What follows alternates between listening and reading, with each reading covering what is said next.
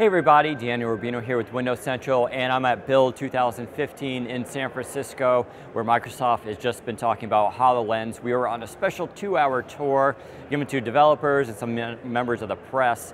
And so this was a different tour from the January one. For one, we got to see not finalized hardware, but more finalized hardware. The one I tested in January was basically a full computer unit you wore around your neck and something on your head, of course. This was the one that you guys have actually seen on stage, the gray uh, basic device that you wear around there. Uh, it was completely wireless this time, so we weren't tethered. And so it was actually a look at what is basically the near finalized hardware. And it's fascinating because it's still unbelievable that that thing is what it is, but it is what it is, a standalone holographic computer that you wear around your head. So we got to do some new uh, programming trials. So Microsoft made some new software and it was only completed about a week ago and the developers that were coming through were able to see how they could actually make holograms. Now how this works is when you make a Windows app, a Windows 10 app that's universal, it could be made into a hologram as well. It's the same programming language. And so they teamed up with Unity and they made this app package and we basically saw what it's like to create a hologram, including the spatial sound, speech commands, gestures, and all that. And they walked us through the steps and we would deploy it to the actual HoloLens and then put it on and ex experience what we just created. Now, I didn't write my own software, of course, but uh, there were people here earlier in the day, other developers who did create things and we got to try them out. How did I like it? It's still a fascinating experience. There's some really strong points here. First of all, the hardware. The hardware itself, I would say, it's not light, but it's not heavy either. It's sort of in between. In fact, it's sort of what you probably imagined it would be. It does feel a little bit heavy, but it's not uncomfortable. You throw it on your head, and there's actually like a ring on the back that you use to tighten it around the base of your skull. And of course, it goes up and down, and it can come out and backwards if you wear glasses to help accommodate that. It was pretty comfortable, but you really have to get it precise on your face and lined up perfectly to experience the actual holograms the way they're meant to be.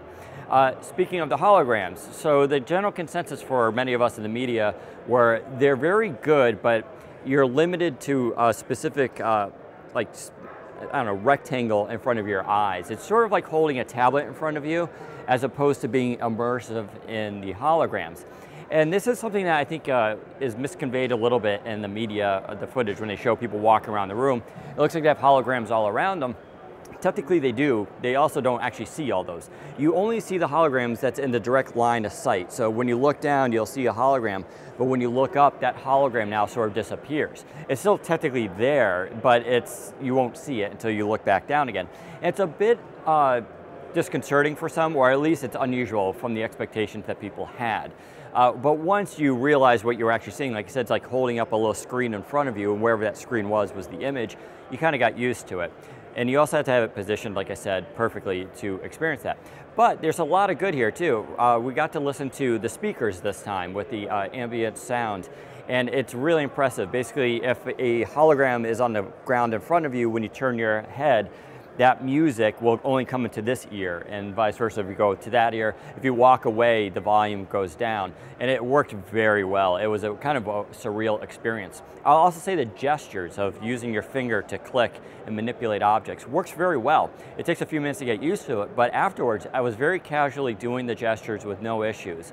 And I thought that was really great. Um, I think a lot of us were expecting this weird sticking your arm out and like doing this over exaggerated thing, but it's a pretty lenient system where you can just put your arm here, over here, and you'll always see it. So that was very good too. Uh, the unit didn't get very hot, it did get a little warm, but not that I would have noticed, it was only afterwards when I would take it off uh, to basically plug it back in and reprogram it. So uh, those things are really good. The actual holograms themselves are impressive. The physics behind them are fantastic. And here we're talking about when you put an object on the like a table and you can walk around it and it stays very steady. That stuff works flawlessly, as well as still blowing holes and things. Uh, and overall, definitely a fun experience. I think for some people it was a little bit of a letdown. Like I said, you don't get the uh, the holograms in your peripheral vision, and so that's something that you have to kind of get used to. But still impressive that this thing is completely wireless, you can put it on your head, it's a full-on computer. We got to see how just regular developers could program this without any crazy tools. It was Unity and Visual Studio. And it's pretty impressive to see that. It still has some time to go, I think, before it's going to be finalized. Clearly, Microsoft's looking for feedback here, but the stuff is real, it's coming out, and Microsoft is definitely getting ready to sell this sometime, hopefully this year.